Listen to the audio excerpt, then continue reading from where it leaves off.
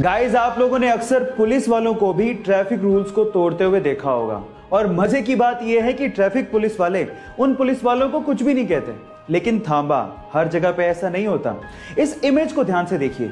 इस इमेज में एक ट्रैफ़िक पुलिस वाला दूसरे पुलिस अफसर का चालान काटता हुआ दिख जाएगा। ऐसा इसीलिए हुआ कि उस पुलिस वाले ने ट्रैफ़िक रूल्स को तोड़ा और साथ ही में हेलमेट भी नहीं पहना। और इस इमेज से ये साफ़ साफ़ संदेश जाता है कि आप चाहे जो भी हो, चाहे कुछ भी हो, आप लोगों को भी रूल्स फॉलो करने चाहिए। आपका इसके बारे में क्या ख्याल है? चैट सेक्शन में लिखना मत भूलिएगा।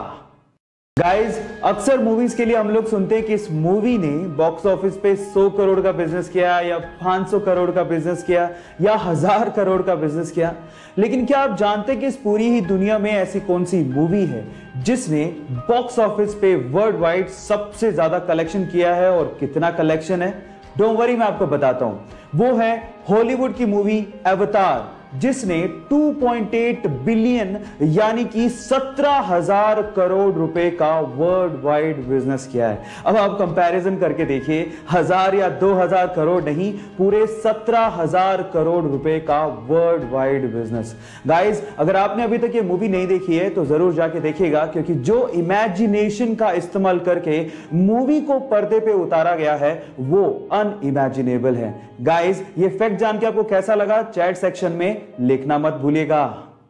आप लोगों ने अपनी लाइफ में कभी ना कभी एटीएम मशीन तो इस्तेमाल की होगी। लेकिन क्या आप लोगों ने कभी सोचा है कि एटीएम मशीन को इन्वेंट किसने किया था? डोबरी मैं आपको बताता हूँ। एटीएम मशीन को इन्वेंट करने वाले बंदे का नाम था जॉन शेफर्ड बेरॉन। लेकिन इसके अलावा एक इंटरेस्टिंग फैक्ट और है। जब उसने एटीएम मशीन को इन्वेंट किया था तो सिक्स डिजिट का पासवर्ड सिस्टम उसने रखा था। लेकिन उसकी वाइफ को एक्चुअली छह डिजिट का पासवर्ड कभी याद ही नहीं रहता था। हाँ इनिशियली चार डिजिट याद रह जाते थे। और इसी वजह से छह डिजिट का पासवर्ड सिस्टम बदल के उसने चार डिजिट का पासवर्ड सिस्टम कर दिया, जो कि आज हम लोग इस्तेमाल भी करते हैं। तो उसकी वाइफ की वजह से हम लोग चार डिजिट का पासवर्ड सिस्टम इस्तेमाल करते हैं। ये इंटरेस्टिंग फैक्ट जान के आपको कैसा लगा? चैट सेक्शन में लिखना मत भूलिएगा। ऐसी घटना है साल 2015 की, जब बेंजामिन नामक एक अमेरिकन ने रेडबुल कंपनी के ऊपर केस फ़ाइल कर दिया। और केस में उसने ये कहा कि मैं पिछले 10 साल से रेडबुल पी रहा हूँ, लेकिन मेरे तो कोई विंग्स यानी कि पंख आए ही नहीं।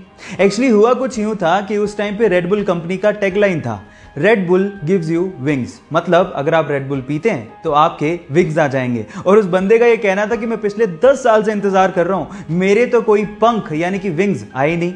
और एक्चुअली कोई मजाकिया केस नहीं था। सच में रेडबुल कंपनी को इस चीज़ के लिए उस बंदे को 13 मिलियन डॉलर्स यानी कि लगभग 90 करोड़ रुपए का हरजाना देना पड़ गया था। है ना इंटरेस्टिंग फैक्ट ये फैक्ट जान के आपको कैसा लगा? चैट सेक्शन में लिखना मत भूलिएगा।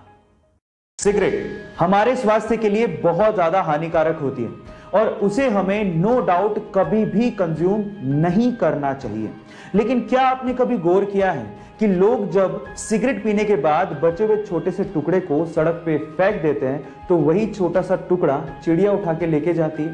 पर सवाल यह है कि चिड़िया उस टुकड़े का करती क्या है? थांबा, वो पीती नहीं है। एक्चुअली चिड़िया उस छोटे से टुकड़े को ले जाके अपने घोंसले में रख देती है ताकि परजीवियों को, यानी कि पैरासाइट्स को वो भगा सके। उस छोटे से टुकड़े में निकोटीन होता है, जो कि पेस्टिसाइड का काम करता है, जो कि परजीवियों को घोंसले में पनपने ही नहीं देता। क्या ये इंटरेस्टिंग फैक्ट इसके पहले तक आपको पता था, और अगर नहीं पता था तो चैट सेक्शन में लिखना मत भूलिएगा। गाइस इस कोरोना की सिचुएशन में हमें कम से कम ये तो समझ में आ गया कि हाथों को अच्छे से धोने और उसे साफ़ करने की क्या अहमियत है। और इस चीज़ को वर्ल्ड हेल्थ ऑर्गेनाइजेशन भी एडमिट करती है। वर्ल्ड हेल्थ ऑर्गेनाइजेशन के हिसाब से अगर आप खाना खाने से पहले अच्छे से साबुन से हाथ धोते हैं तो ये चीज़ वैक्सीन को लगाने से भी ज़्यादा कारगर है।